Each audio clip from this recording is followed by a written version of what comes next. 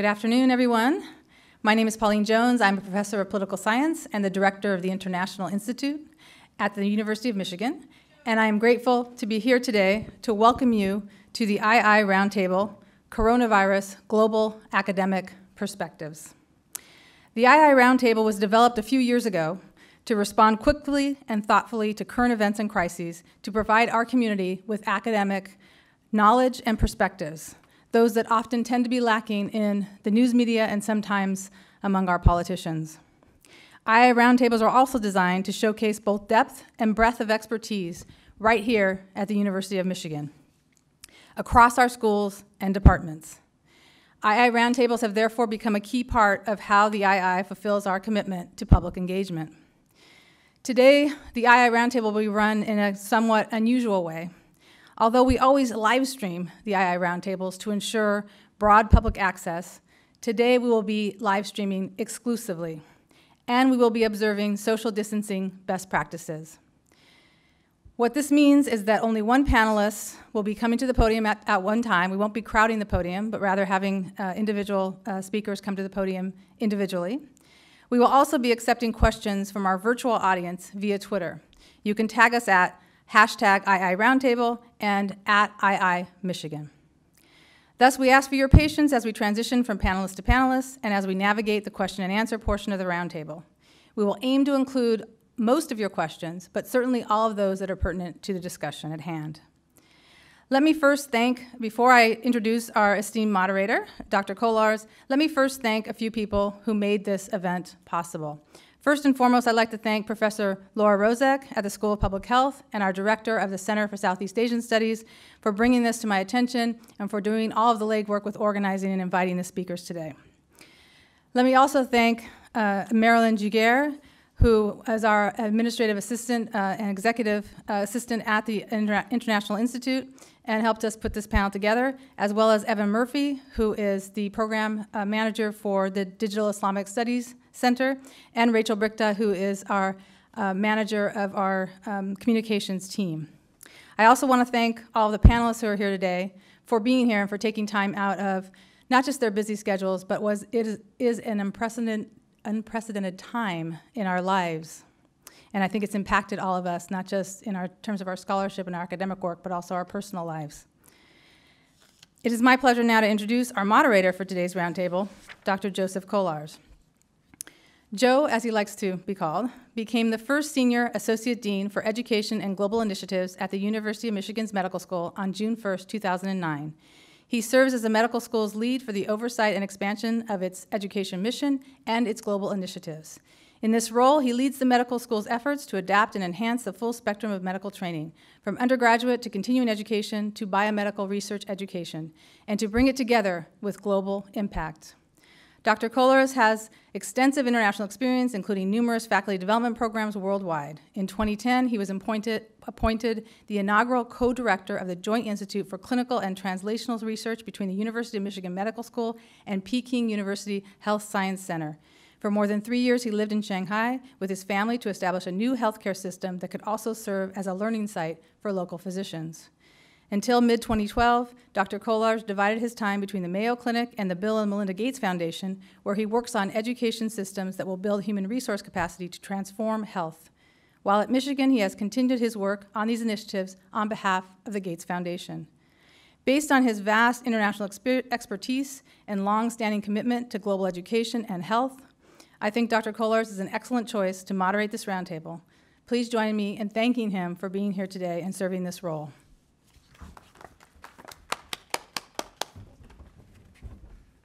Great. Uh, thank you, uh, Pauline, and uh, good afternoon uh, to the audience.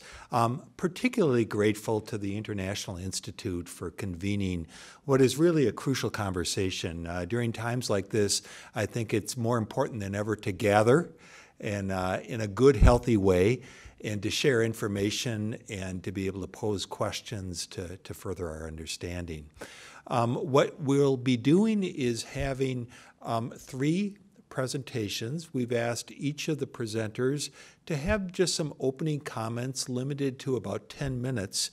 And then what we're going to do is open it up to questions. So we would be grateful for those of you who have questions that come to mind that you pose them on our feeds, and, uh, and I will be um, presenting them from the podium. Also, know that the focus of this conversation is around um, COVID 19 and the implications, especially for those of us who are dealing with the international interface. This is having such an impact on the wider community. Many of us are very tied up in the nitty gritty of operations of our of our of our university and our students and what's going on for us in the health system. And we can go there if directed with questions but a lot of our our focus is on uh, the big picture and greater understanding. So i'm going to be calling to um, the podium first. Uh, our first presenter is dr preeti uh, malani uh, Dr. Um, Malani is our chief medical officer for the university. So she's the highest ranking uh, medical health officer. She reports directly to our president, Mark Schlissel. Her background, she's a professor of medicine um, at the University of Michigan, um, and she has deep training and expertise in infectious diseases. In fact, she's the author of three textbooks, multiple publications, one of the most prestigious medical journals, the Journal of the American Medical Association, has chosen her to be one of their co editors.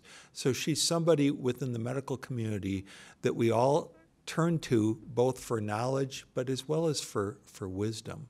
So um, Preeti um, has been asked to just say uh, a few words about what is the biology of, of, of COVID 19.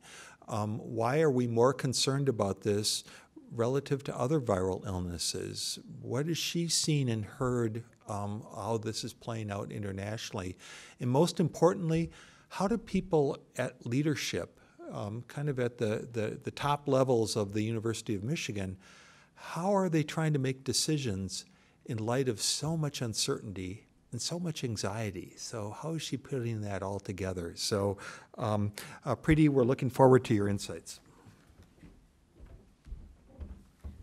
Thank you, Joe, and thank you again to the organizers. So it's interesting that COVID 19 has sort of taken over our collective world, and it's something that actually didn't have a name even uh, just a few weeks ago.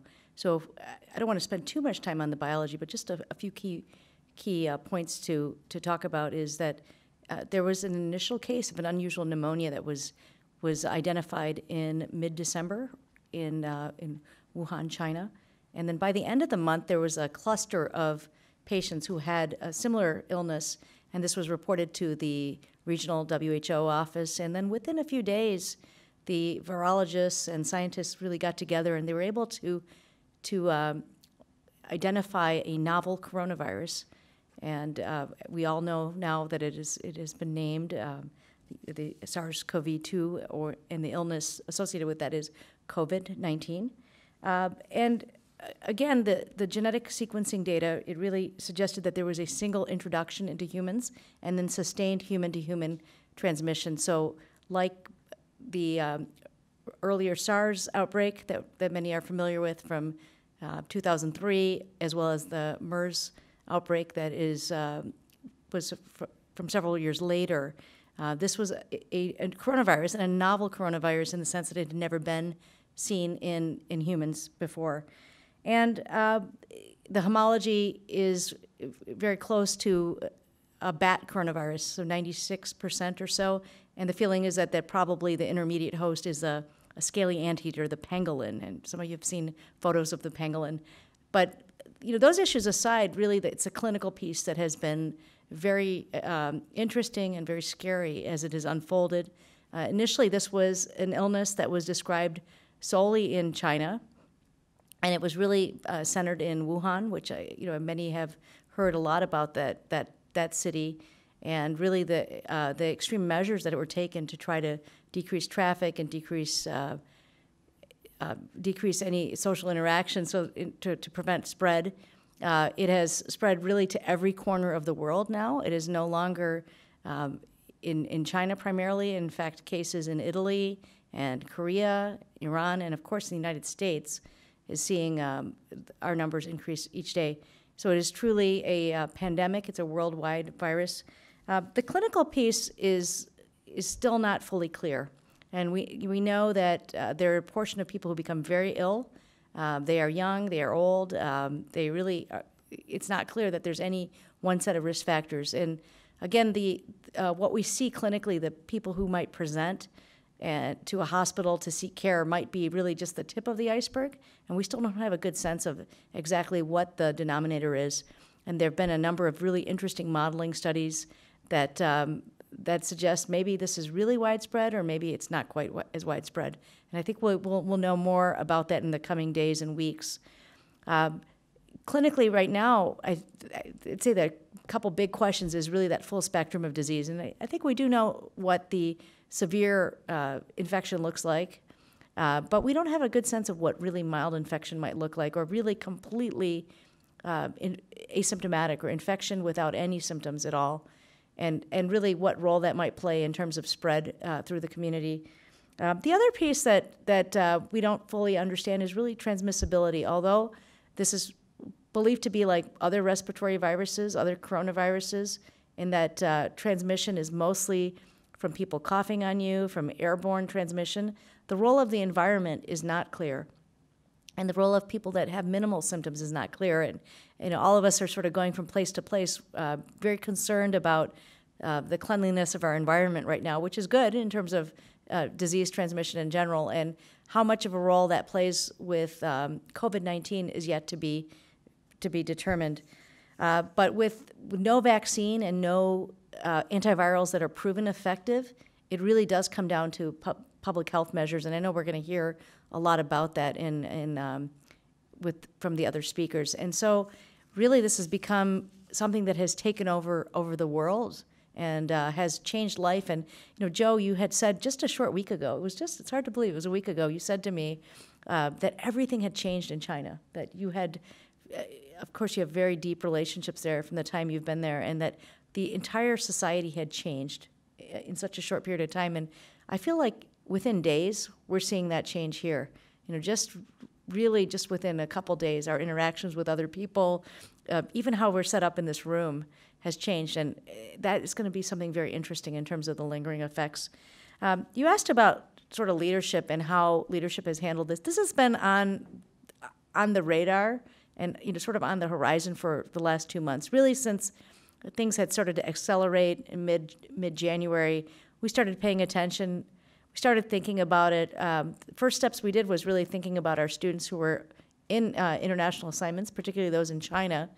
And as the um, the CDC designation increased to level three, we worked on bringing home students. Uh, we have subsequently did that with, with Korea and then Italy and of course now really all of Europe. And we've actually unfortunately had to, to, to um, suspend for the time being our international education programs for, for undergraduate students, which um, you know it has a it has a lot of um, uh, disappointment and downstream effects but I believe it was the right decision to make. And, and clearly, even in the few days since we made that decision, it feels like it was, each, each day is like a year long right now.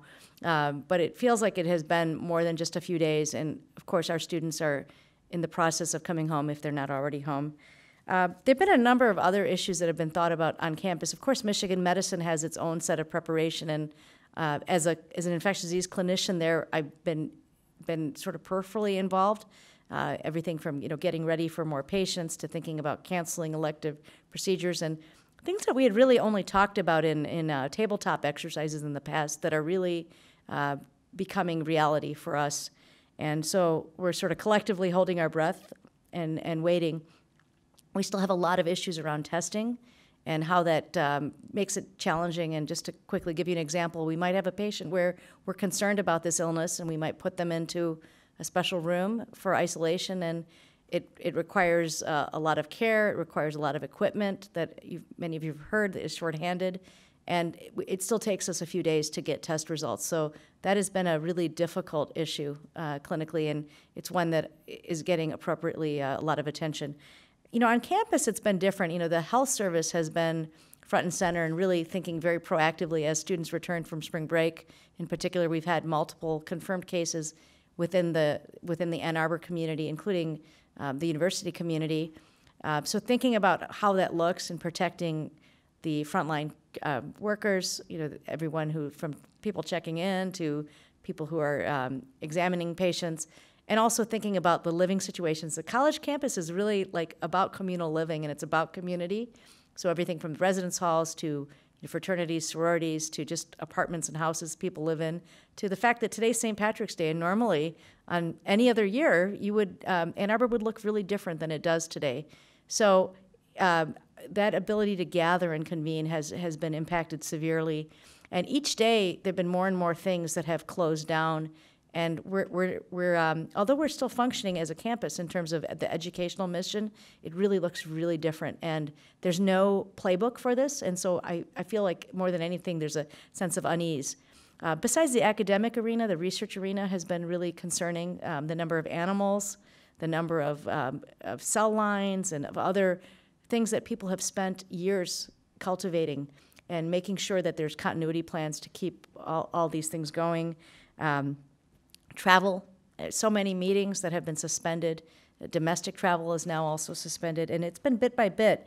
Um, so, unfortunately, all the other aspects of health and well-being kind of get put aside with this, and this is sort of taken up things. And you know, I I'm really interested to see where we go in the next few weeks, and really whether this becomes um, an exercise in resilience, hopefully, and you know maybe reconnecting uh, in a way that we haven't had to.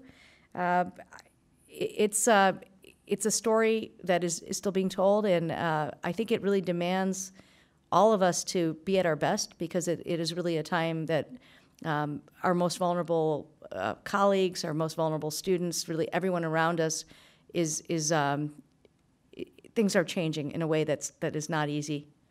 So I'll, I'll leave it at that. Thank you. Well, thank you, uh, Preeti, and a special thanks for uh, your leadership during these really challenging times. Uh, I know you're making a lot of decisions to try and keep all of us um, healthy and safe. Um, I'd like to say a few words about our next speaker, uh, Professor Joe Eisenberg from our School of Public Health. Um, he's role modeling for us today. So um, he has deep expertise in epidemiology, but he feels that he's coming down with a little bit of a mild viral illness that is separate. It's not COVID 19, all right? But often, how many of you have come to work or come to school when you're not feeling right? And say, well, I can do it, I can deal with it. Um, those times have changed. Now we're all called upon, if we're not feeling right, stay at home and we're grateful for uh, uh, Professor Eisenberg, both for his willingness to engage on this panel, but to appropriately step aside and say, let me shake this off and not shake it onto the rest of you. So uh, thank you, Professor uh, Eisenberg. So our next speaker uh, offers a really, again, a unique perspective. Professor Howard Markel is a professor in our history of medicine um, here at the University of Michigan. Such a unique background, trained um, uh, as a pediatrician, but then pursued his scholarship in the history of medicine with a particular focus on epidemics. You know, our National Institutes of Health funds primary research, does a lot to support scholarship here at the University of Michigan. Very uniquely, they funded Professor Markel to do research on past epidemics around pandemics, viral illnesses, not unlike what we're in right now. Some of you may recognize him from the multiple books that he has written. He's also a very popular um, author uh, in, uh, for the New York Times. Uh, recent article some of you may have read about the time to act now with closing schools is now. So um, we're grateful that um, uh, Professor Markel um, can uh, give us some comments about uh, what have we learned from past epidemics um, and how does that translate to what we're encountering now? Are we doing the right things? Are we doing too much? Are we doing too little? So, uh, Howard, thank you for joining us, and we look forward to your comments. Thank you. Um, It is interesting, when you study uh, past epidemics, you're a lot like the Maytag repairman, and uh, everyone ignores you until there's some crisis, uh, and then you're very busy. Um, I'm purposely keeping my hands in my pocket so I don't uh, touch the microphone. Um, about, it, uh, it was actually a, a July 4th weekend of 2005, and I had already written about two books of, of epidemics uh, in America and was ready to turn to another topic. And I got a call, my assistant said the Pentagon is on line seven. And I thought that was odd because the Pentagon doesn't call me for anything.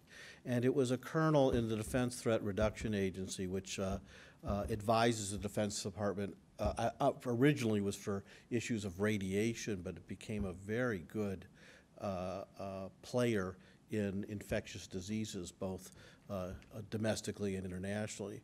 And they wanted to know about uh, a series of escape communities uh, in the 1918-1919 uh, pan influenza pandemic. Now, uh, caveat, influenza is a very different virus than COVID-19, but the 1819 uh, influenza pandemic has always been used as our worst case scenario. Uh, it attacked at least 14 million Americans. It killed probably 600,000 to 750,000 Americans. It probably killed anywhere from 40 to 100 million people worldwide and had a case fatality rate of about 2.5%. In some places, such as India, for example, it was over 10%. Now, uh, Today, we're dealing with COVID-19, by the way, which may or may not have a case fatality rate of 3 to 3.4 percent. Most of us are hopeful that as more moderate and mild cases come into the, denom the denominator, that that case fatality rate will go down. But nobody wants to take chances, and most of us practice. I know as a pediatrician, I, I never had a patient or a parent come back to me and say, I want my money back because you said it's better to be safe than sorry. So that was one of the, that's one of the key issues we've been dealing with. But we looked at these escape communities that basically shut themselves off. And they were very unique, very small communities that could do so. Uh, a mining town in Gunnison, Colorado that closed its gates literally for four months, uh, a school for the blind in Pittsburgh, uh, Bryn Mawr College, Princeton University, but these were really unique, and most places can't completely shut themselves to all commerce and, uh, and uh, interactions. Schools were closed too, by the way. Now, what I was more interested in was regular cities, because that's where the action was. Every city in the 1918 uh, pandemic did some of these, what are called non-pharmaceutical interventions. Isolation and quarantine, school closures, and public gathering bans. That's the menu. There are other things. You can give advice, you can tell people to wash their hands, but that's harder to measure. But with those three, if you do one, two, or three of them, you know when the trigger was pulled on and you know when the trigger was pulled off. And we found, uh, actually, uh, the, the, the, the, the remarkable document we found was a, a, U.S. Census report that had 43 cities week by week during the pandemic from September of 18 to April of 19. They had their mortality and morbidity rates for influenza and pneumonia and deaths. And it was one set of data as opposed to using different municipal reports, which would have been apples, oranges, and bananas because of how it may have been collated. And so we looked at those cities, and cities that acted early, because you have to act before the virus comes in to your community, circulates and hits an inflection point where you get the standard epi curve where you see a very tall hump, and there's just a certain point there where it's the point of no return. It's going to affect a lot of people. So they have to act early. They had to use more than one, and school closure was one of the most successful, but it was often used with isolation and quarantine. Why school closure? Well, because children have what's called poor respiratory hygiene. So little children slobber all over each other, and they cough and they sneeze, and this was long before the vampire uh, cough. In fact, most of us who are, have gray hair learned to cough into your hands. That was the proper etiquette, say, as late as the 1960s or 70s. But and older children, high school children, have poor respiratory hygiene, but for different reasons that I won't go into right now. And uh, then the final uh, issue was uh, if they use public gathering bans, but if they acted early, they layered them, use more than one, and you have to use them for a long time because as soon as you, ra you raise the gate, the virus gets in. So that worked. Those cities that did that had much better rates of mortality morbidity than those that did not. And what was really interesting is that about 20 of those cities acted in a way that they released the triggers very early, then the cases went down, and they said, hey, the flu is over. And so we can, you know, uh, abandon these. Then the cases went back up. Then they pulled the trigger again, and the cases went down. So you saw a double hump curve. And that was neat because each city acted as its own control. When they were on, the cases went down. When they were off, the cases went back up again. So we published that and did a lot more work on school closures and things like that at the U of M Center for the History of Medicine with the CDC. And in fact, when 2009 came, there was a lot of talk about using these very measures that we're using now. And President Obama called a great many of us to meet and to uh, uh, advise him. And Mexico, which was extremely forthcoming, unlike what's going on now, was extremely forthcoming in how many cases they had early on. They did the same menu of options, and you saw a double humped curve again. They only did it for 18 days, however, because by then the case fatality rate was clear that it was about 0.7 or less. It was actually mimicking seasonal flu. So you wouldn't use these, you know, the nuclear option of public health tools for something that was not that deadly. You would only use them for very deadly things. There are also a great many uh, modeling studies and computer studies, and of course Japan has been closing schools for flu almost every season for years. So we had a lot of data, but now we're actually doing it. And we're seeing a great many things from history uh, that are both positive and negative. Positive, communities are resilient. They get together, they will get through this. They have gotten through it in the past, they will get through this too. I'm very confident of that. But we're seeing internecine rivalries between different levels of government, both in the United States and internationally. And we have little fights, you know, calling this a hoax or this is a Democratic thing or Republican thing or what have you. Uh, the fact that the testing was not geared up for capacity, which of course it wasn't. It's a novel virus, and these things weren't manufactured, and nor could they be pulled off the shelf. But that caused uh, Governor Cuomo to, uh, in New York to uh, chastise the CDC, et cetera, et cetera. These things don't help epidemics, in fact, or pandemics. In fact, they, they harm the care of them. There's been scapegoating, and we've seen this in the past as well. Chinese restaurants in America are not being uh, uh, uh, people are not going to them. Chinatown in San Francisco, where they have tours and such, is dead. People aren't going there. And there have been complaints in Hong Kong where uh, various hair and nail salons have signs, we will not serve mainland Chinese customers. So there's scapegoating going on. And even about China, people are angry a little bit, uh, and perhaps rightfully so, about the delay in reporting for almost a month uh, to the world of what was going on uh, in Wuhan. Um, there's also a, a great deal of panic and uncertainty, and that comes with almost every epidemic. What is interesting, I think, today compared to the past is that our predecessors 100 years ago had great exper experience with epidemics. The, before the vaccines for childhood infectious diseases like diphtheria or uh, uh, uh, measles or, or, or, smallpox, you would see those almost every year. And everyone knew somebody or their own child who died of one of these things. And you saw polio epidemics well into the 50s. In fact, the last serious polio epidemic was in 1955, just before the Salk vaccine was announced probably about four blocks from here in the Rackham Auditorium that it was safe and effective and potent. There were actual polio victims who missed it by a few months by being vaccinated. And that caused a great deal of scared uh, uh, panic, I should say, because uh, it, it, affected children primarily, and parents, understandably, were very nervous for their children. The point I'm making is that while we have not had a great deal of experience with epidemics, or in this case, pandemics, uh, there's never been a better time in human history to battle a pandemic than today except for tomorrow, in that uh, we have such an incredible armamentarium uh, of public health, of medical treatments, of, of intensive care, of respirator care, and on and on to combat this. And in fact, it is remarkable that this coronavirus was identified in world's record time, a matter of days, and within a matter of hours when the Chinese uh, public health authorities gave these samples to the NIH authorities, they figured out exactly what piece, what protein of the uh, virus that would be best used for a vaccine in a matter of hours. That's utterly incredible.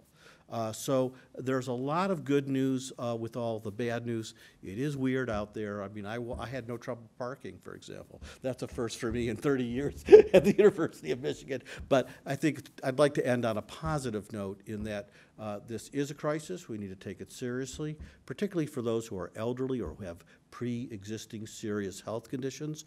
Lots of people are walking around with diseases that they would never be alive 50 years ago because of modern medicine. People with cancer, people with HIV, people with transplants, and on and on that are vulnerable. Those are our people, our, our Americans who we need to protect most, but I'm very confident that we will get through this. We're a resilient society, and I will close at that. Thanks. Uh, Thank you, Howard. Um, Really uh, helpful insights. We already have some questions coming in for Howard, for Preeti, so uh, we'll be bringing you back uh, in just a few moments. Um, We are here in the International Institute. Howard acknowledged um, some of the, the international dimensions. We know diseases express themselves in different populations, in different countries, and in different ways. Um, We also know that there are different cultural and governmental responses.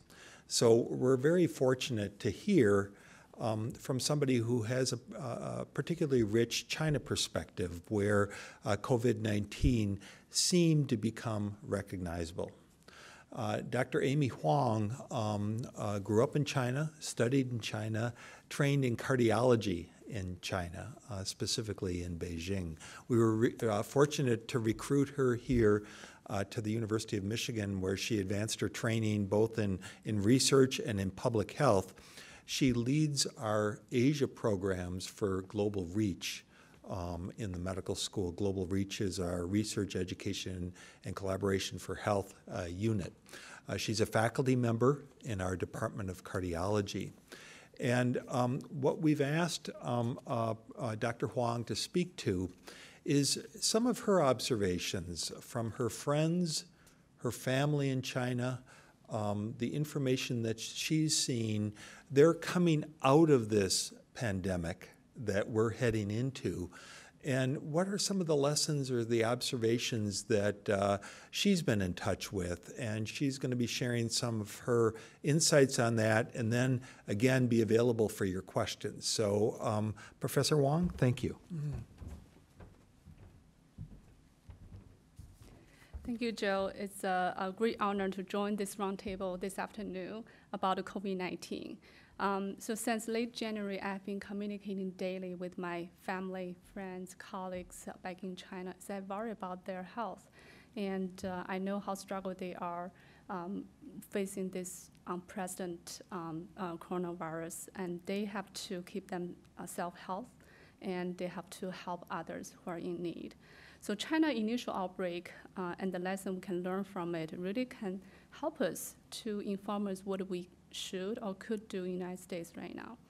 So I first heard about the coronavirus outbreak really from the Chinese social media. It's about like a SARS-like uh, virus outbreak in Wuhan city. And on June, uh, January 20th, when the uh, Dr.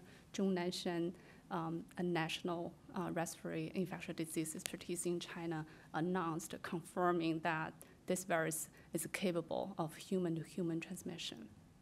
So since then, I really, really follow up very closely on the daily news and um, calling to my friends, colleagues uh, working in the front line. So soon after learning about the virus transmission method, uh, as um, the other panelists mentioned about, you know, um, entire Wuhan city shut down, and a week after, uh, entire Hubei province with 15 million uh, population shut down, and a week after, entire China was under lockdown. So it's a dramatic change. Uh, the coronavirus has really changed the normal life of every citizen in China. And it also is happening at worst, uh, one of the worst uh, timing because it's a Chinese New Year season. Chinese people heading home from all over the China. And last year, it's, um, the, it's a breakup like uh, 3 billion trips during this travel season. So you can imagine a lot of mobile, um, migration is happening during that uh, break, breakout um, season. And uh, um, I know that a lot of people's life was impacted, especially those in Wuhan. Um, by the time the lockdown was declared, the uh, community transmission already happened for weeks.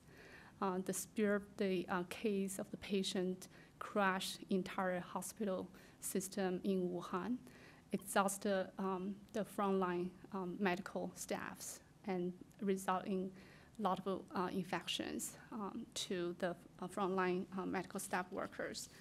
And the worst scenario is many hospitals, because of the uh, overwhelming hospital capacity, a lot of patients were sent home, and that's worsening the continuous spreading.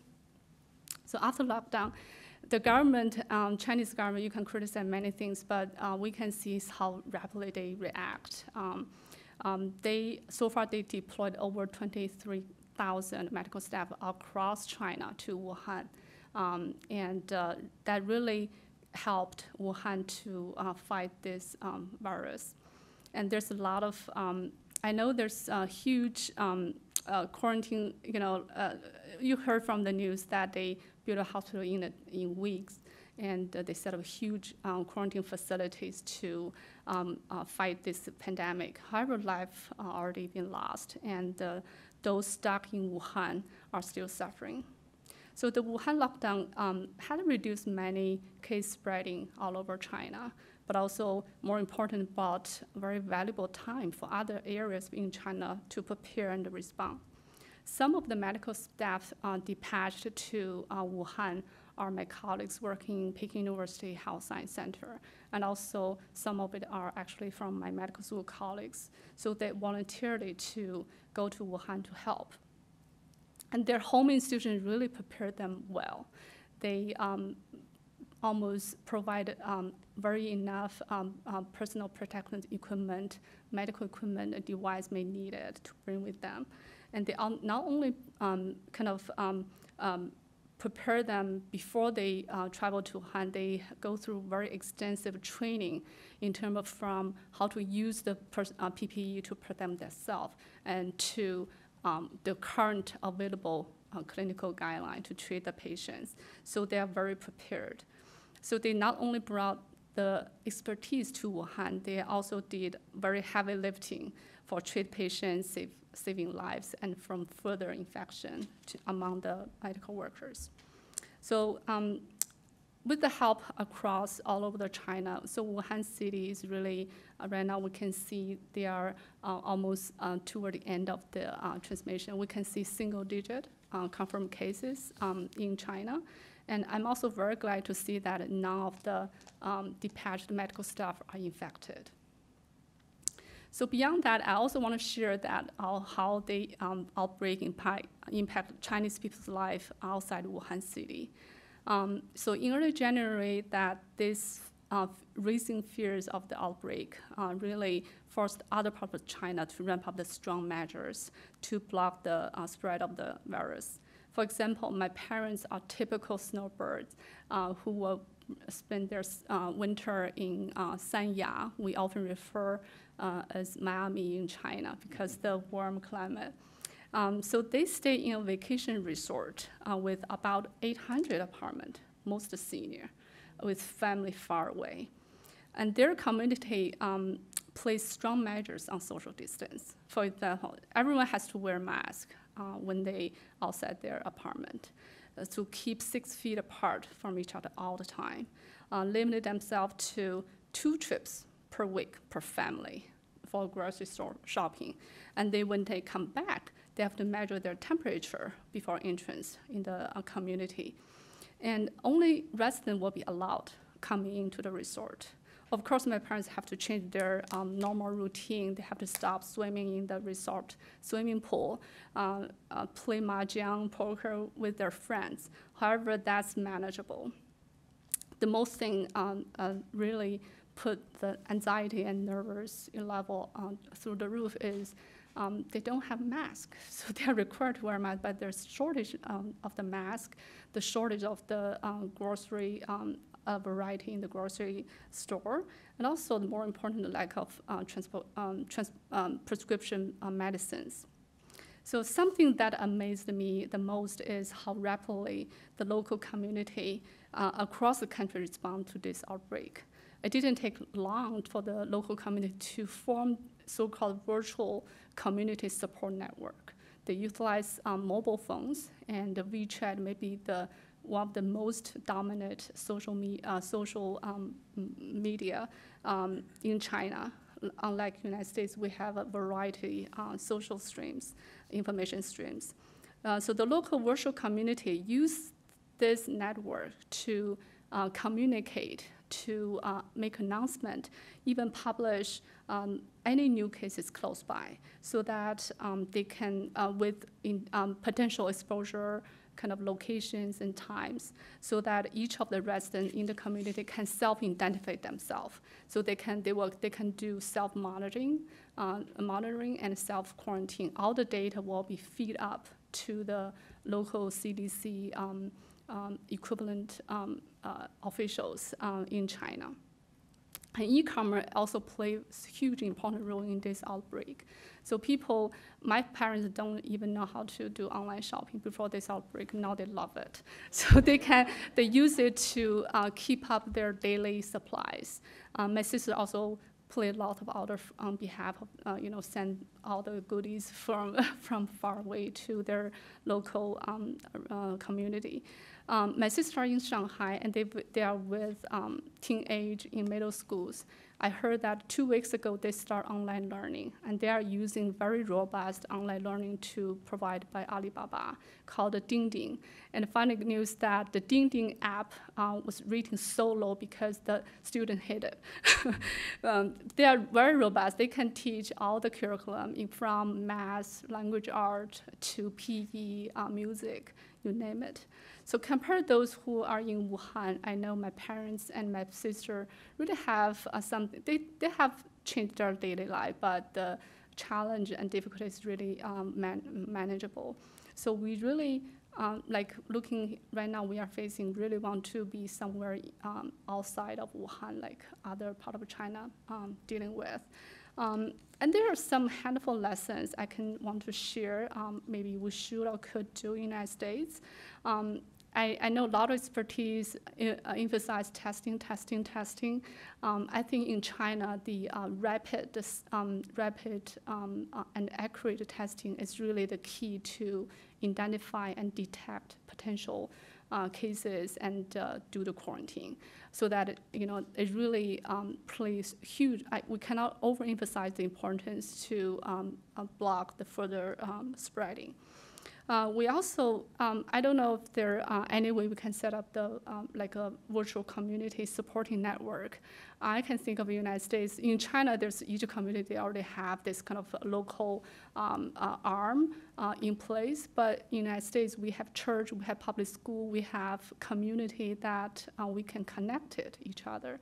Those can be um, used as a communication announcement any kind of um, um, severe case identified or exposure uh, potential ex exposure can be communicated in the local so that they can watch themselves.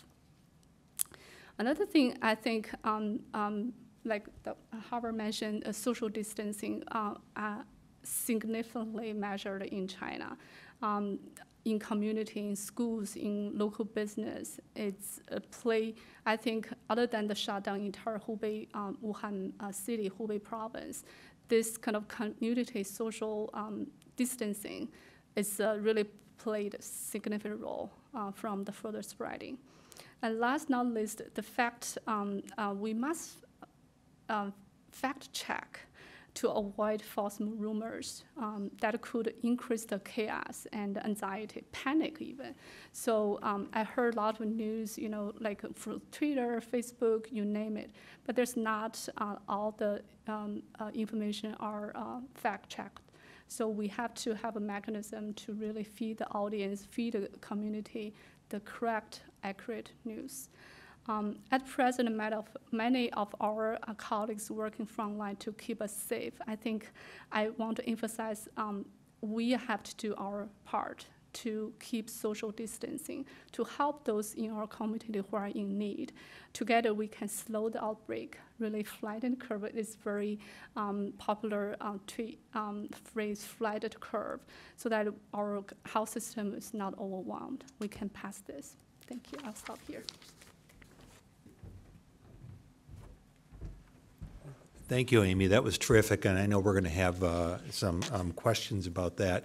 What I'd like to do now is um, pose a couple of questions um, to, to each of our speakers that have come up um, um, from, from audience input.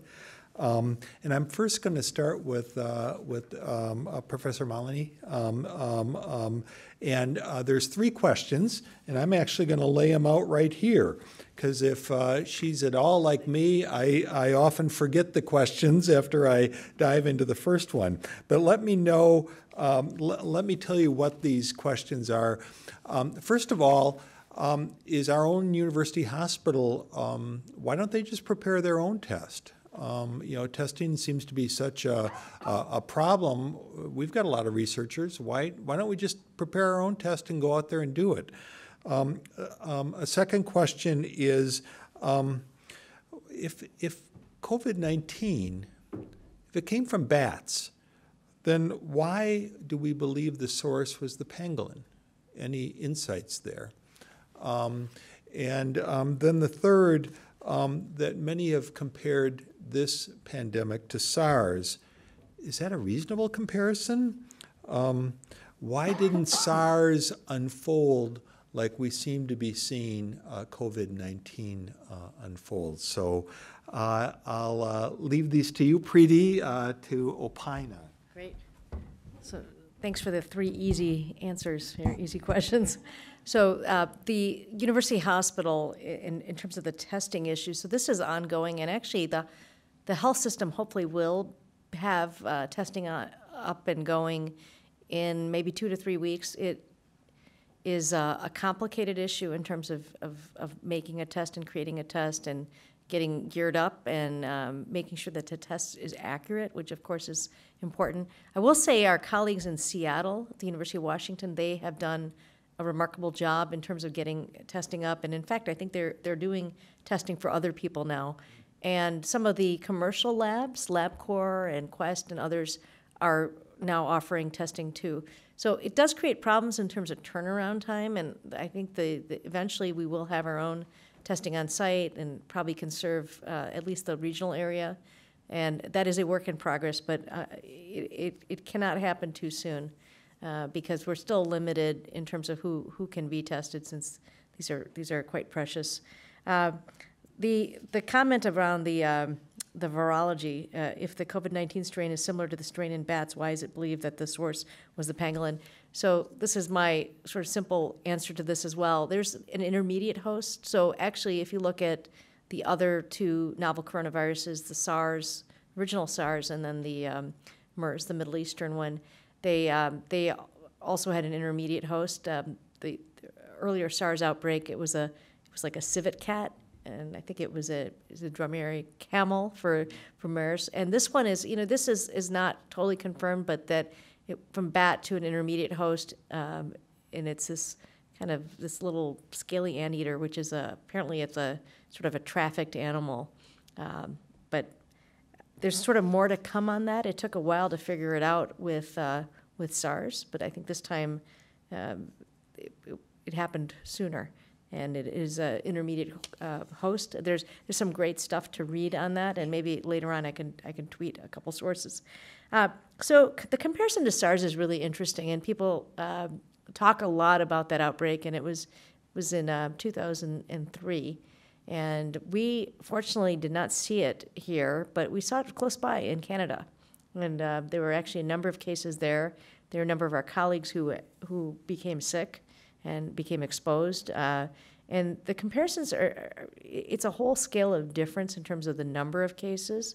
Um, but it was also the approach. It wasn't that SARS just sort of disappeared when it got warm. People talk about that.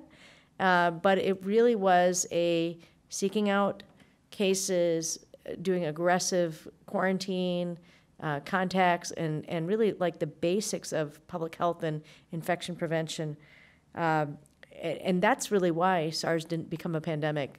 And I, I'd be interested in, in, in Howard's comments on this, but it's not that it couldn't have become, uh, it, it's that there was a very uh, aggressive um, search and destroy strategy, if you will. Um, there, there is um, a sense that SARS had a, a higher uh, morbidity mortality rate, but again, it's very hard to know what, what, what you saw. Um, you could you can make a, you know when you have a, a small sample of just two, it's it's hard to to really make uh, big generalizations. But in something that makes people sicker, it's easier to also identify the cases. And in this case, we're as we're learning more about the range of, of what happens clinically with COVID infection, it may be that there's a lot of mild infection and it's it's um, all over the place. Uh, I don't believe that that was the case with SARS from everything that we know. So it was perhaps easier to identify the cases, and when it became apparent, there was a very, very aggressive um, approach to trying to um, to mitigate the cases. Thank you, and I'll, um, I'll ask, um, uh, invite Howard to, to respond to any of those questions. But there's two things I'd also ask that um, uh, uh, uh, Professor Markel um, address. One is just an aspect around terminology. It's come up a couple times, the term flattening the curve. Could you explain that to us? What does that actually mean um, so that we, we understand that concept? And the other thing that we'd ask you to comment on is what do we know about the role of anxiety, maybe panic from past epidemics? Um, that's come up a couple times in these discussions, and I have to tell you from being in the hospital uh, uh, uh, today, um, there's so much anxiety. There's so much anxiety in our system. Um, I don't know if many of you have had that concept where you're going, maybe I don't have enough toilet paper. You know, you all of a sudden hear that there are shortages, and you say, "Yeah, boy, I better go and get my um, uh, my, my share." But there's a lot of anxiety that breeds anxiety that probably really detracts from our well-being. What do we know about that from past um, past uh, um, uh, pandemics? Is there anything we could or should be doing to address that more explicitly? So a lot on your plate, uh, Howard, but uh, we'll look forward to your uh, comments. Um, First about the pangolin, which is the, the most trafficked mammal in the world. Its scales are very favored and uh, as medicinal things, and uh, it's not surprising that it's an intermediate host because it's an anteater, and bats consume their weight in insects every day. And it's from all these insects and ants that a lot of viruses are transferred to different species. And then you get this mixing bowl when you have different species trafficking in, in scales or eating animals or things like that. So it, it makes a great deal of sense. In, in terms of MERS with the dromedary camel, uh, and it emerged in Saudi Arabia where the camel is used uh, as a means of transportation and hauling goods, particularly among Bedouin people. So, uh, and there's very close contact with the people who use the camels, uh, with the camels themselves. So, um, you know, we're mixing with species more and more that we've never done before, uh, whether we're consuming them, uh, owning them, uh, or living near them. And uh, that's why these zoonotic infections that go from one species to another seem to be such a problem, I think, today. Um, where, would you describe the terminology flattening the curve? Yes, because that came up uh, about 15 years ago when I was sitting in the office of Martin Cetron, uh, who's a, a longtime collaborator of mine and uh, the uh, uh, head of the Division of uh, Quarantine and Global Migration at CDC. And we were actually planning this flu study that I just mentioned. And so we were talking about the common, you know, the epi curve that goes up, well, it should go up and then go down by natural means. And we were thinking of these social distancing strategies, these non pharmaceutical interventions, because that was the lane we were assigned right when bird flu hit. And if you recall bird flu, that was 2005, and it was right after Hurricane Katrina. And the George W. Bush administration was frankly nervous about getting caught with another crisis. And so they redoubled their efforts in terms of bird flu. And there was a lot of experts in the government, still in the Bush administration, who had been doing a lot of work with bioterrorism right after 9 11. And some of the lessons of bioterrorism, of man made infectious threats, were actually applied to naturally occurring threats. And a lot of us got together. We all had very different mindsets, all had very different backgrounds. But the idea of what could you do viral, uh, uh, vaccine-wise, antiviral, and then the non-pharmaceuticals, and that's what we were assigned. So where does that come from? So the thought that if you could take that epi curve and flatten it, instead of like that, over a course of several days, flatten it so it went over many, many, many, many more days.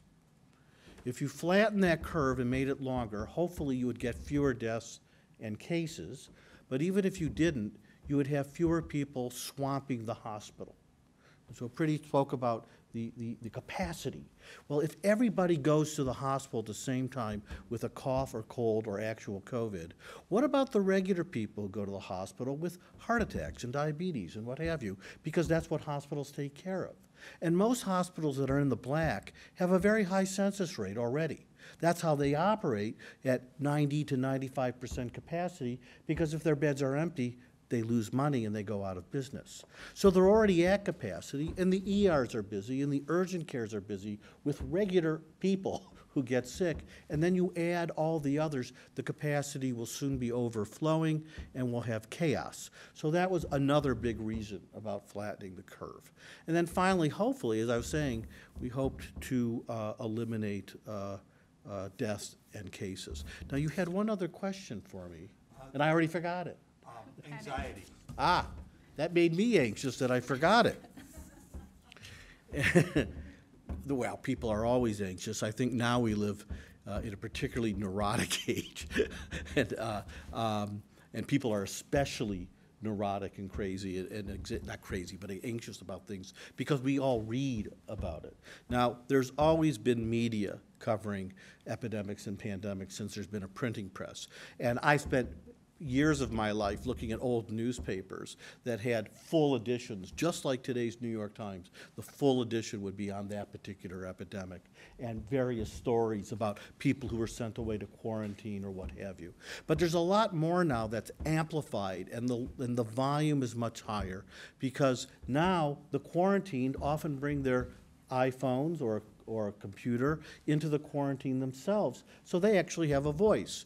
If you remember, um, uh, the nurse Hickox, uh, Kaci Hickox, uh, during the Ebola crisis when Governor Christie inappropriately uh, quarantined her. She had her laptop. She wrote an op-ed. It was it appeared in the Dallas Morning News, and no pun intended, it went viral. But the people I studied 100 years ago, they're put far away on a quarantine island, and you never hear from them again. So we now have in the paper, social media, Twitter, what have you, these voices of the quarantine, which I think is remarkable. But we also have all the rumors that always happen and all the silly stories or conspiracy theories too that were often in the papers 100 or more years ago, but now they are amplified. And that can be a real problem and cause more anxiety. And then there's just the act of being quarantined, whether it's mandatory or voluntary. Uh, we all go a little stir crazy. Now, if you said to somebody, I'm going to give you a week off, you can hang out, take walks, we'd all say, that sounds great. But now you say, well, I'm going to give you that week off, but you have to stay home and you can't go to Costco and you can't do that. Then, you know, after a day or so, I found myself, you know, I've been, I've been thinking about quarantine for 30 years. I found myself today going a little bit nuts because I couldn't, I didn't want to go out. And so it does play on your mind. And one of the very important things we do today that we didn't do 100 years ago or 1,000 years ago, but 100 years ago when we put people away in quarantine, we had no treatment for them, we had no care for them because it was simply to keep them far away from us. We were healthy, they were not. It was a separation. And they didn't have treatments anyway back then to do anything. Today, we have good care for the isolated. If the quarantine become ill, we, we take care of them very quickly. And if you looked at the quarantines of the people who were evacuated from China, the Americans who were evacuated to the uh, West Coast uh, military base, that was run by Dr. Cetron at the CDC. And they were they weren't like hotel rooms at the Ritz, but they were decent rooms. They had connectivity. They could talk to people. They had computers. They even had Zumba classes. I was told that were on TV. They had good food, but they also had psychological care and counseling if it was needed, and that's really important. So the role of psychologists, of social workers, good friends, families, just to connect and talk, whether it's by phone or in person, I think is critical. And uh, it helps put a, a balm on the loneliness. And, and that's important because we're all people and we're all social beings. So social distancing is really contrary to how we're socialized, to use that word over and over again. So. Um, uh, Thank you, Howard. And for those of you who may be uh, joining us, it's a little bit of a different uh, panel discussion in that we're all maintaining social distancing, which is also making it a little bit difficult for us to talk with each other. So as I, as I call people to the podium with some specific questions from the audience, I, I also want to open it up to our panelists if they have questions for, uh, for each other that we can generate some dialogue. But now I have a couple of questions for, for, for Amy Huang.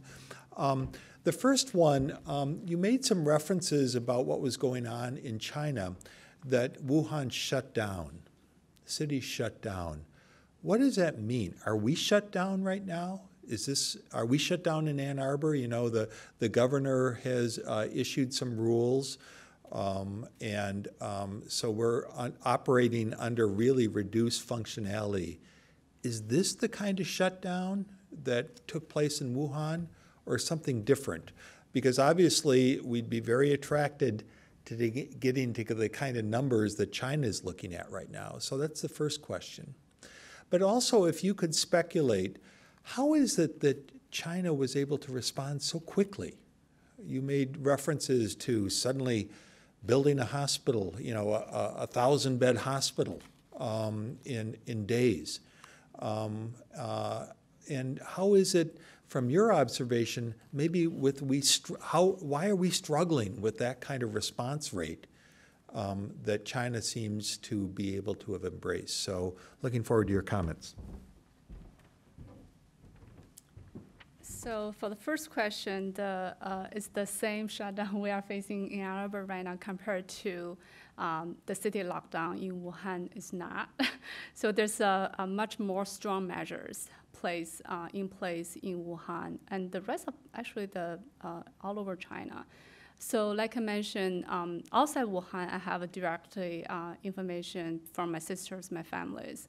So like I said, their community basically there's no outside traveler allowed in, uh, and they uh, go out. Their measures they only allow two trips per week per family for grocery shopping. That's, a, that's the uh, strong measure. So even in the community, they have to wear mask. If you don't wear mask, they will send you back to home. You cannot, you are not allowed to come to outside to walk. Um, and also um, the um, what I heard from my my um, my families is um, they also have a strong tracking system. They so the the database available. Uh, you all heard about the, you know the um, a lot of mat, lot of per, there's not much privacy uh, in China. There's a uh, lot of data uh, collected by the government. They can trace back from individual where they traveled, uh, which even which train or which airplane they, they take they took in the past few few days. And they if the uh, suddenly they found this patient was positive, they will send um, the patient the patient real name and where they um, traveled, where was the timing, so that allow all the community watch out um, in the self do the self you know, identification and monitoring and the quarantine. So that's how strong measured uh, in outside China, outside Wuhan. Within Wuhan, there's a lot of rumors. Um, I um, I'm not sure which is true or not. You know, in addition to what measures placed uh, in, placed in place um, uh, outside Wuhan, I heard that there's um, much more strong measures um, uh, placed within the Wuhan city. So why uh, has China able to respond so quickly? Well, I'm not sure that that's uh, uh, actually uh, the fact because uh, initial um, case happened in May, December. So until January 31st, the city was locked down. It's already a month, a couple weeks lost. So during those couple weeks, that this kind of uh, cultivating time, um, that's what happened. The tragedy happened in Wuhan.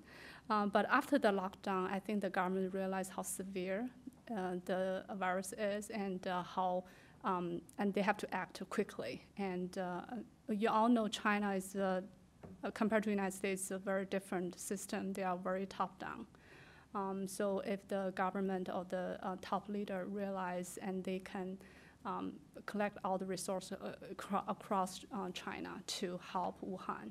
So that's why you, you see the hospital have been built within weeks, and uh, uh, they occupied the huge facility for the quarantines. And in China, it's a mandatory quarantine. So you have the positive, uh, the uh, COVID-19, you have to check in those quarantine facility to be monitored and to be taken care.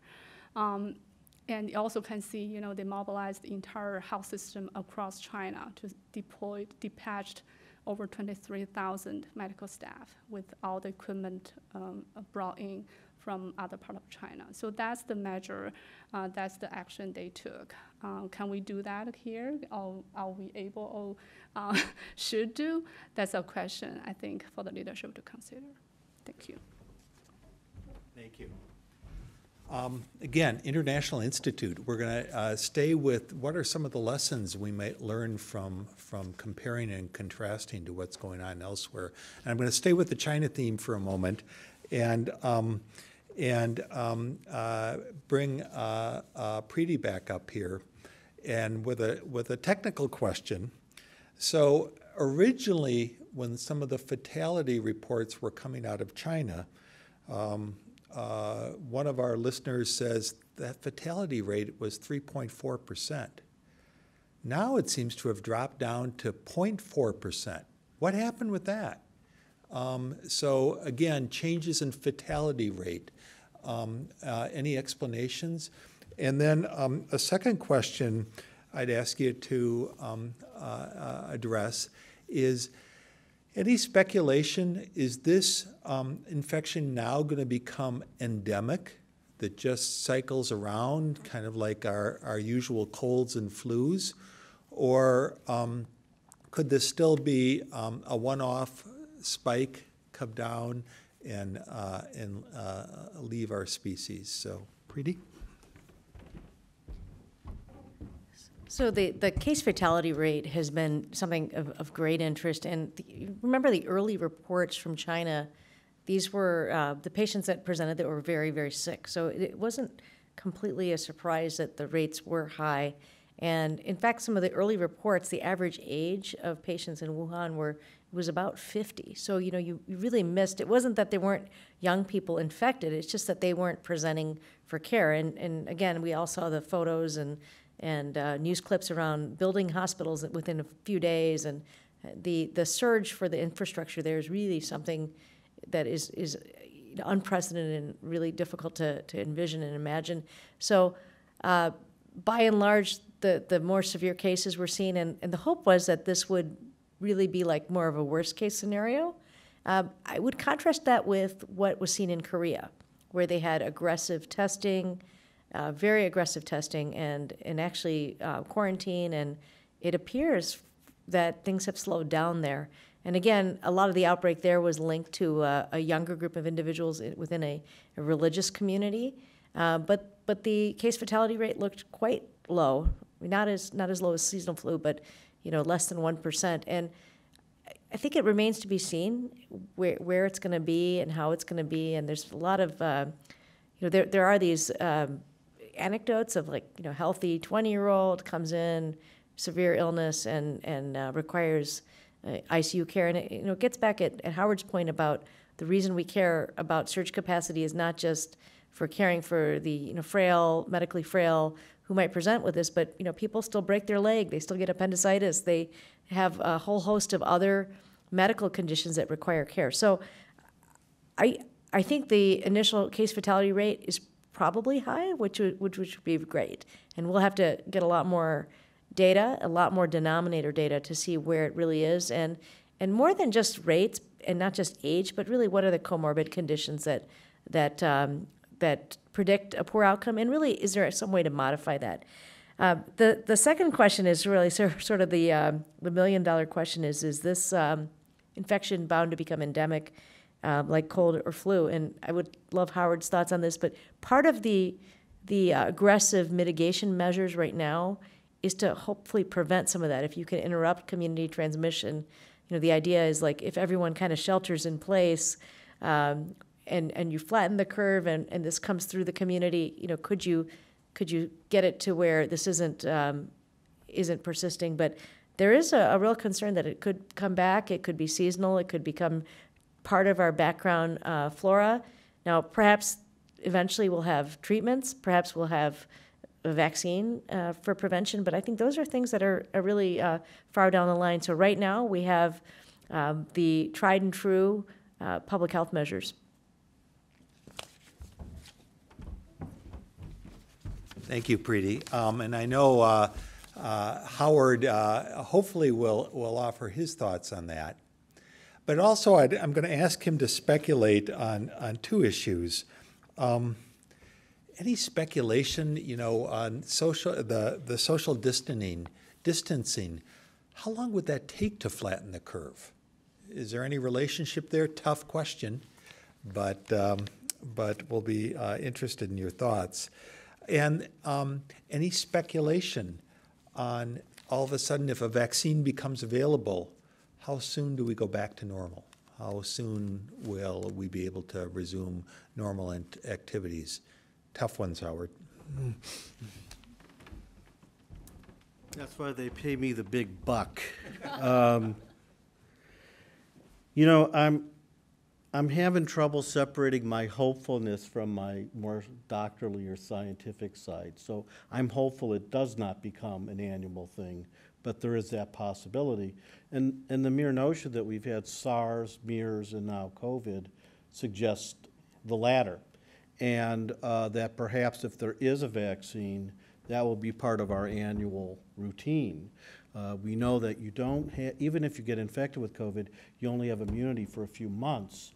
Uh, about three to four months is uh, what I've read. And uh, so that would suggest, like flu, that you need to get immunized every year. We're hopeful this is a one-off, but it, it sounds like it, it may not be, and we have to prepare for that. How long would social distancing need to continue to flatten the curve? Well, that's another million-dollar question.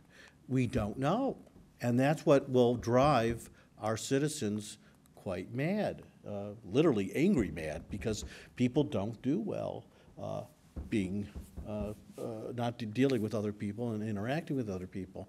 And it, we do know that with flu, it had to be for a very long time. The, the cities that did it best did it for a matter of two to four months.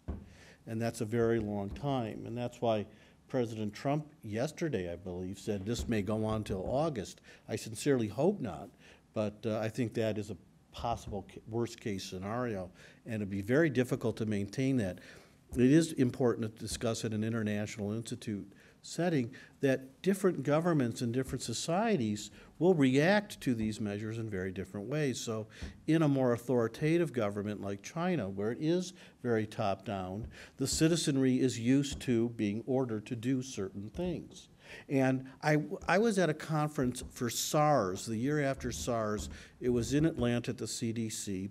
And there was a panel of health officers from uh, Singapore, Beijing, uh, Vietnam, and uh, Toronto, various people who were affected. And the more autocratic and the more authoritative the government was, Singapore had the best record, where you can't even spit out your gum on the sidewalk without uh, uh, getting in trouble. They had the best record of squashing SARS down because of the very strict quarantine measures they used. And the most open democratic society, Canada, Toronto, Canada, had the worst. And Americans who are even more open and democratic than almost any other country in the world uh, will have problems adjusting to this. So that's also part of how long with the social distancing is not only how long we as doctors or public health uh, experts would like the social distancing to exist, but how long will the American citizenry, citizen, citizenry tolerate those measures? And that's a real big deal. When would we be able to presume, would we be able to resume activities when a vaccine becomes available or there's another endpoint. You know, it's really funny when 2009 flu happened and there were surveys of would you like a vaccine? This was when we really thought it was going to be a deadly pandemic. It was a pandemic because it struck almost every country on the globe, but it fortunately was not any more deadly or roughly about as deadly as seasonal flu. Well, early on, when that started in April and May of 2009, everybody raised their hand that they would like a, uh, a, vaccine. And what was particularly interesting, because it, it seemed to arise in Mexico that year, there were a great many people in the Latinx community who said they would like to go first, okay? Well, what happened nine months later, because it takes about nine to 12 months to make these flu vaccines, particularly then, because they were still literally hatched, growing in eggs, in chicken eggs. And it takes that much time to grow, develop, and manufacture enough lots of vaccine. Well, what happened? Fewer than 20% of all Americans got vaccinated. And it was particularly low in the Latinx and African American communities. And uh, so, you know, people say they want a vaccine, but they don't necessarily get the vaccine. So I wouldn't look, I, am hopeful we will get a vaccine, and uh, Dr. Fauci at NIH feel, feels very positive that we will, but it'll take many months to uh, uh, perfect, manufacture, uh, test, license a vaccine. It would probably take nine to 12 months.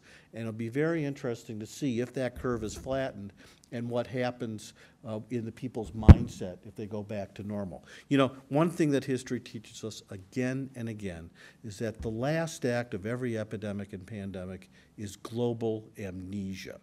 So it's like SARS, what's that? AIDS? Was that a problem? You know, and they'll say the same thing about this. Uh, I hope they'll say the same thing about this. But that global amnesia is what's so dangerous. Because we go back to our normal lives. It's almost like the last paragraph of Camus' The Plague. I highly recommend it. I, I just was teaching it to my students, my undergrads in literature and medicine course. But they go, we all go back on our merry way, and we don't do the necessary planning that we must do for pandemic preparedness. It's not an issue of if, it's an issue of when, as we're learning today. And because we didn't do a lot of planning in the United States, we're getting caught in a bind. And there's a million and one things you have to plan, and even then, you rarely guess the foe correctly. You know, we were planning for influenza for many years, but coronavirus is causing a problem. We thought the next influenza pandemic would arise from somewhere in Asia. It came out of Mexico. But the point is, is that you have to prepare, particularly with ideas about how would you close schools and what you would do with those. How would you take care of universities? What would you do with grocery shopping? On and on and on. With tabletop exercises and planning at every level of government over and over again. You cannot forget this problem. So that's, that's my hope. Great. Thank you, Howard. We're entering into our final 10 minutes, and I'm going to ask each speaker to come up and uh, address a question I have, but then offer any concluding comments or reflections that they might have with a, a definite stop at 5.30. We also have one of our listeners wondering any intel on what's going on in Russia in terms of how they're observing or responding. So, uh, in your closing comments, if anyone has any intel, please uh, offer. The question I'd have, um, if you could address just in, in, in your closing remarks, um, I'd really like to hear your thoughts on what does it mean to wear a mask? Um, what's the science behind masks? Um, we heard, um, you know, there's some people when we're walking out there on the streets, we see a mask. Um, when I'm in the hospital, there are some people who have masks. We're running out of masks. Sometimes the mask can communicate this person's infected. Sometimes it can communicate to us that this person is trying to take extra good care of themselves. But there's a lot of mask behavior, and I, I think it's maybe a cultural or international component to it as well. But what's what's the science? What's your your opinion on masks and what we should be doing? Um, so many of our stores are sold out of masks. Um, did we miss the boat if uh, we don't have masks and we're not wearing them? Preeti?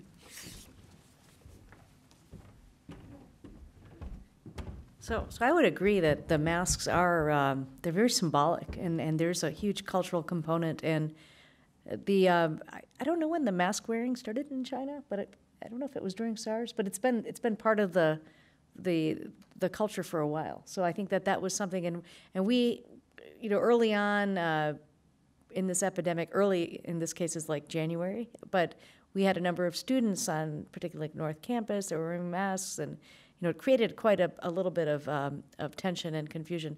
So the science, as I understand it, and as, as, as I will share, um, with the masks, these are very important for healthcare workers, uh, particularly the N95 masks in this case, and that is the standard, uh, what we call like personal protective equipment. And uh, many of you've seen the photos of the uh, physicians and nurses and other healthcare providers around the world, and you've heard the stories around shortages because there's actually not an unlimited supply of these, and s- many of them are, are made in uh, China and Taiwan, so we're actually having some difficulty obtaining adequate supplies. But uh, the mask does a couple things. One is if you are ill and you go and seek care, we ask you to wear a mask in, in order to prevent um, you spreading, uh, usually through respiratory droplets, uh, to cut back on that. And then the, the uh, person who is taking care of you will wear a mask to protect him or herself. Uh, the the um, in the United States, uh, in the Surgeon General and the CDC and others, they they have um, spoken on this issue a lot because people have been wearing masks and that um, the feeling is is that you actually could contaminate the mask and you, you end up touching your face a lot. And uh, they've done these sort of small observational studies where they look at people who are wearing masks and they find that they actually play with their face a lot. And in theory like if you had some kind of respiratory secretions on that mask from someone else like you could end up with it in your eye. And so the feeling is is that it, it, it, it doesn't protect and that it might actually increase risk um, that said, I, I think that there this is this is sort of changing. You know, there are people on airplanes who have been told to put a mask on, and um, but at this point, the recommendation is still not to to use them for routine use other than in the healthcare setting. Um, and again, I know that varies around the world, and that is a controversial statement because we probably all some people feel better. I think about the plague mask from uh, you know th- uh, the from a generation more than a generation many years ago. 1600 yes uh, centuries ago. Um, just for closing remarks you know i i am um i'm amazed at how quickly things have changed for for everyone. And i worry about um, the focus to the point where we forget about everything else that is important in terms of health and well-being. I feel like all the work in, in every domain of our life has sort of come to a halt. of whether it's talking to our kids or talking to our colleagues, I mean, this is like all I think about right now. And uh, I really am looking forward to the day where you know I have like a COVID-free day, um, and I'm I'm doing my best to also be patient and and really think about what I can do to to be kind and thoughtful to others. You know, I, obviously the healthcare workers are one, but there are a lot of other people that are that their life isn't stopping, whether they're keeping us safe, keeping our environments clean, helping us with schedules, helping people reschedule airline flights. So I think just um, care and compassion and kindness is uh, more important than ever right now.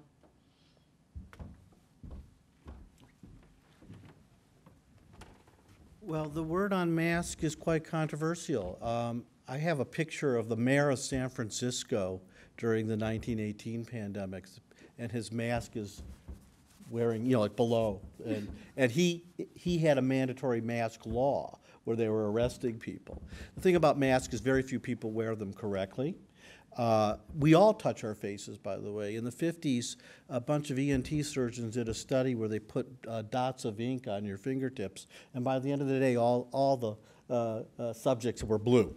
Uh, and so if you are touching it and it has respiratory secretions on it, that is an issue. The other thing about a lot of these masks—they're cheaply made and you breathe through little tiny microscopic holes in the weave, whether it's made out of paper or some other material. And so by the end of the day, if you wear it the entire day, you are probably uh, moving out vi- viral, viral particles or inhaling them. You need to change them uh, often. And indeed, the, the N95 respirator mask is different because that's real protective gear. Most people have a hard time wearing them, but of course, for our healthcare workers, I think they're on the front lines They're essential.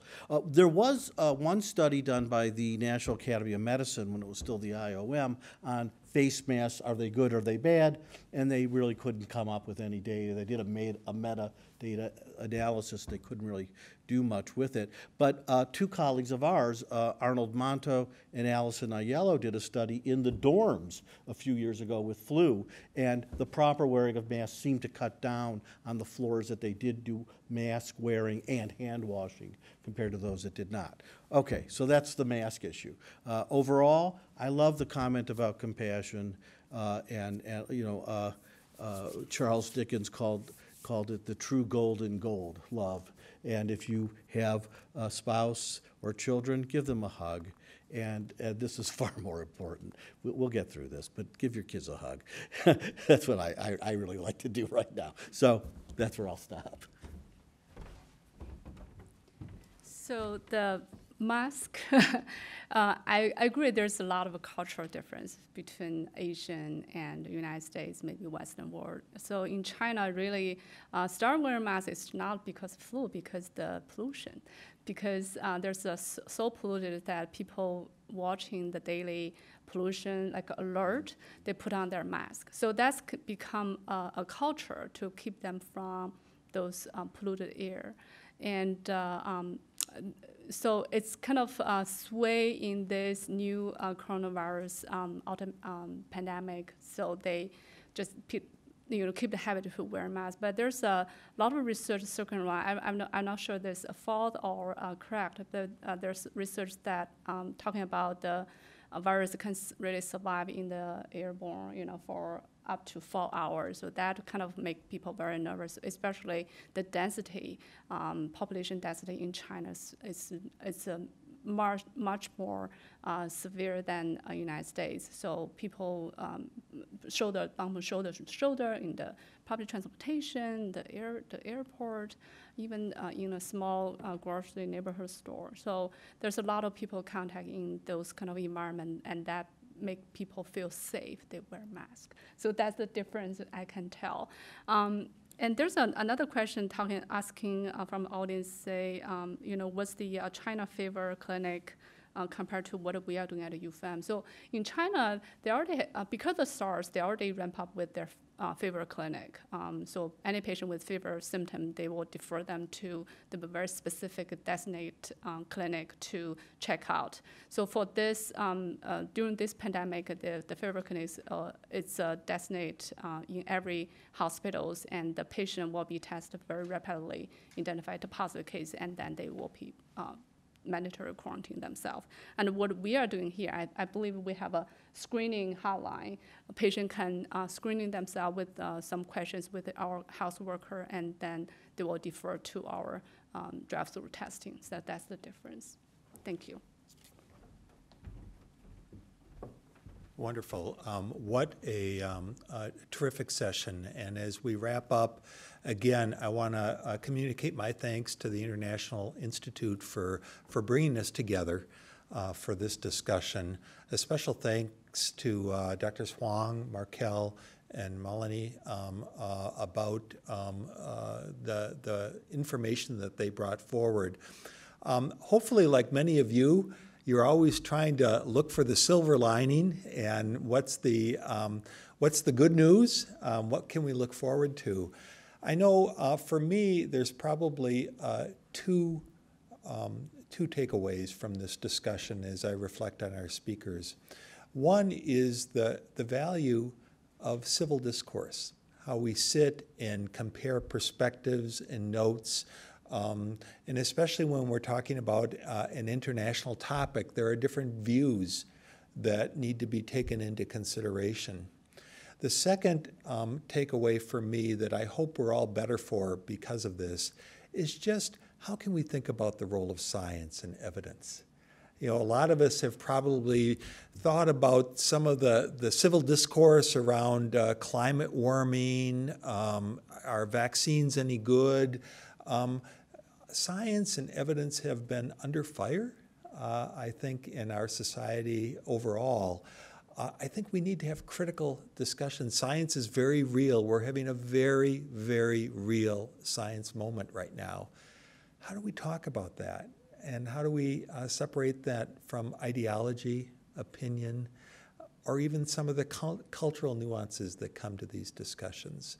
So um, uh, I'm impressed to be part of a community where we're all trying to take care of each other, sometimes through education, sometimes through support. So um, I wish you all good health, uh, good information, and, uh, and uh, thank you for uh, being part of this discussion.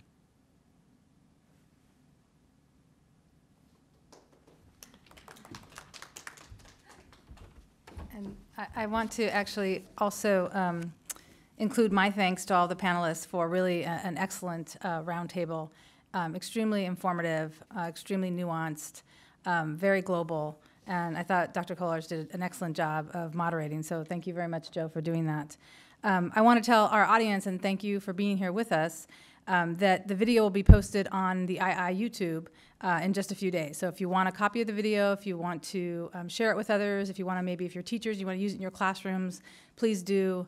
We welcome that. And again, thank you to all of our amazing panelists and to all of those who were responsible for helping us put this together, including our co-sponsor, who I neglected in the beginning to to um, to. Uh, thank, and I apologize for that. Uh, Global Reach at Michigan Medicine was also one of our co-sponsors. So thank you to Global Reach. And thank you to everybody. Have a good night.